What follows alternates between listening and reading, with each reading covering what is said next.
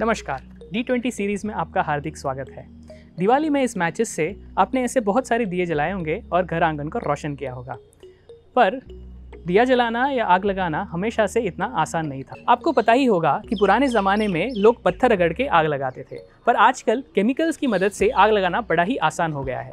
तो आज हम कुछ ऐसे ही केमिकल रिएक्शन से दिया जलाएँगे और आग के विज्ञान को समझेंगे। तो हमारे पहले प्रयोग में हम पोटेशियम परमैंगनेट और ग्लिसरीन का यूज़ करके दिया जलाएँगे। एक टीस्पून पोटेशियम पर परमैंगनेट में कुछ बूंदे ग्लिसरीन की डाल लेते हैं। थोड़े समय में ही ये केमिकल मिक्सचर बड़े ही खूबसूरत तरीके से जल उठता है।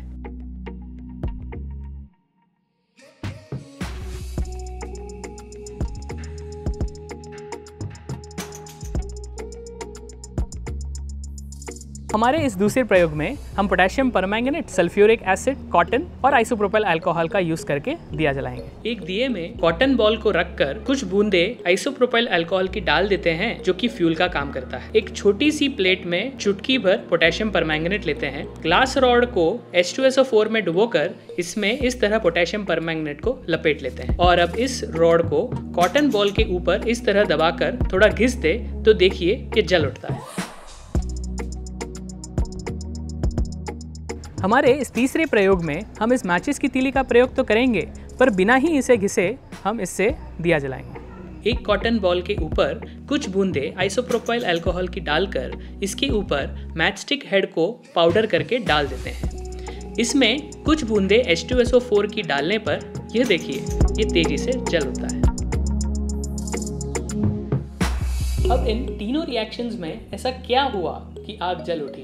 चलिए समझते हैं। किसी भी कार्बनिक पदार्थ को जलाने के लिए हमें तीन चीज़ों की ज़रूरत होती है। ऑक्सीजन ईंधन और उष्मा इन तीनों केमिकल रिएक्शंस में बहुत ही ज़्यादा मात्रा में ऊष्मा उत्पन्न होती है और ऑक्सीजन की त्वरित और ज़्यादा सप्लाई के लिए ऑक्सीडाइजिंग एजेंट का उपयोग किया गया है। और यही ऑक्सीडाइजिंग एजेंट फायर क्रैकर्स और रॉकेट फ्यूल में भी इस्तेमाल किए जाते हैं। पहले प्रयोग में पोटेशियम परमैंगनेट ऑक्सीडाइजिंग एजेंट है, जो कार्बनिक पदार्थ ग्लिसरीन को बहुत ही तेज़ी से ऑक्सीडाइज कर देता है और कार्बन डाइऑक्साइड और पानी का धुआँ बनता है। इस केमिकल रिएक्शन में कुछ ही क्षणों में बहुत ही ऊष्मा उत्पन्न होती है और ग्लिसरीन तेज लो के साथ जल उठता है। और ये जो पिंक फ्लेम है, ये पोटेशियम सॉल्ट की वजह से आ रहा है।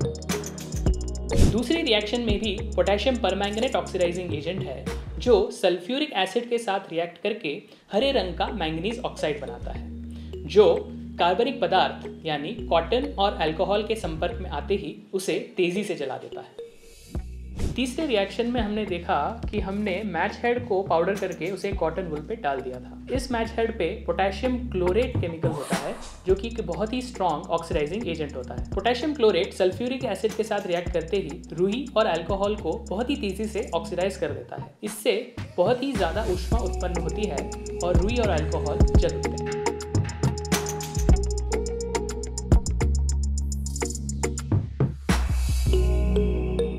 सारे प्रयोगों को देखकर आप सोच रहे होंगे कि ऑक्सीडाइजिंग एजेंट की ज़रूरत क्यों है, जबकि एटमॉस्फेयर में तो ऑक्सीजन है। जैसा कि हम जानते हैं कि आग के लिए हमें फ्यूल के अलावा ऑक्सीजन और सफिशिएंट हाई टेम्परेचर की ज़रूरत पड़ती है। और यही तो चीज़ें हमारी ऑक्सीडाइजिंग एजेंट प्रदान करती है। एक, वो केमिकल रिएक्शन से इतनी हीट प्रोड्यूस करती है कि वो हाई टेम्परेचर को मेंटेन रखें।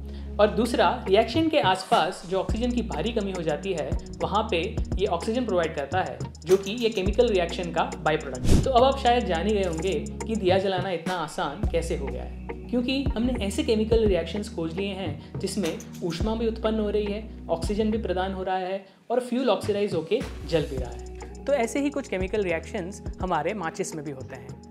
मैच बॉक्स पे फ्रिक्शन की वजह से रेड फॉस्फरस वाइट फॉस्फरस में बदल जाता है, जो एक बड़ा ही ज्वलनशील पदार्थ है। ये हवा में आते ही जल उठता है और पोटेशियम क्लोरेट को डिकम्पोज करके ऑक्सीजन रिलीज़ करता है, जो बाकी पदार्थ को भी जलाए रखता है। तो आशा करते हैं कि आग का विज्ञान समझ के और जो अलग अलग तरीके से हमने दिए जलाए वो देख के आपको आनंद आया होगा। पर यह ध्यान रखें कि ये सारे केमिकल रिएक्शंस आप अपने साइंस टीचर की निगरानी में ही करें। और सेफ्टी इक्विपमेंट्स जैसे सेफ्टी गॉगल्स लैब कोट और सेफ्टी ग्लव्स पहन के ही करें। Happy Diwali safe